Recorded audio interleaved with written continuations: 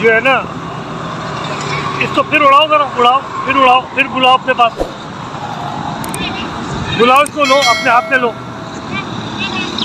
हाथ में लो, हाथ में लो, हाथ में लो अपने। अब ये बताओ, अब ये कब से पाला है तुमने? आज छोटा बच्चा, आपका क्या नाम है हिबा और ये आप जहाँ भी आप जाती हो, आपके साथ जाती है। उड़ा के आगे पीछे भागो जरा, देखो, भागती है तुम्हारे साथ।